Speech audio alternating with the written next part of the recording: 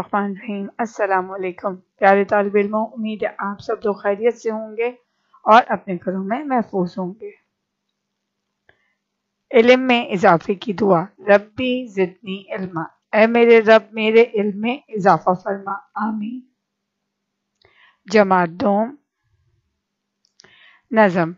आज की हमारी नज़म का उन्मान है, कोशिश किए जाओ। ये हमारी दरसी किताब अरमगान उर्दू से ली गई है।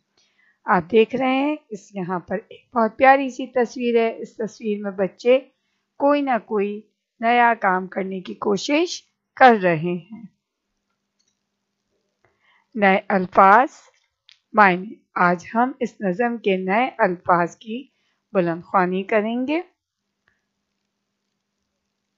लफ्ज़ की जमा को अल्फाज कहते हैं। पहला लफ्ज़ है, लुटिया डिबोना। इसमें जो हर्फ हैं, वो हैं लाम, टे, ये, अलिफ। लुटिया, डाल, पे, वाव, नून, अलिफ। लुटिया, डिबोना। इसके मायने हैं काम खराब कर देना। इसमें जो हर्फ हैं, काफ, अलिफ, मी। खे, रे, अलिफ, बे। काम खराब। काफ, रे, कर। दाल ये नून अलिफ देना दूसरा लफ्ज है ताक, तोए, अलिफ, काफ। इसमें दो नुक्ते वाला काफ इस्तेमाल हुआ है। इसके मायने हैं दीवार में बना खाना। दीवार, दाल, ये, वाओ, अलिफ, रे। दीवार में मीम ये नून गुन्ना बना बे नून अलिफ बना खाना खे अलिफ नून हे एक और लफ्ज है मुशक्क़त।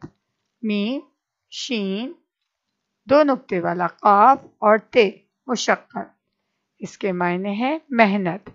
मीम, हे, नून, ते। एक और लफ्ज़ है जस्तजू। इसमें जो हर्फ हैं, जीम सीन ते, जीम वाव और इसके मायने हैं तलाश। ते, लाम, अलिफ शीन तलाश। जस्तजू के मायने तलाश भी हैं, कोशिश, जद्दोजहद। लफ्ज है हिचकिचाना। इसमें हे, चे काफ चे, अलिफ, नून अलिफना हिचकिचाना, इसके मायने हैं झिझक महसूस करना। जीम दो चश्मी है, जीम दो चश्मी है काफ झिझक, मीम है, सीन, बाओ, सीन।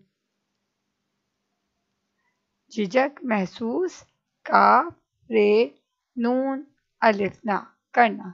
झिझक महसूस करना, झिझक महसूस करना, यानी कि शर्माना। आपने कोई भी नया काम करना है तो आपने शर्माना नहीं है, बल्कि अपने बड़ों से पूछ लेना है। सरगर्मी।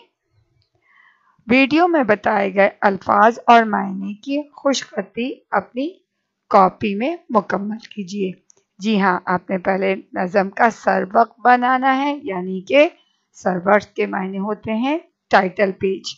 और इसके बाद आपने अपनी ये सरगर्मी को मुकम्मल करना है।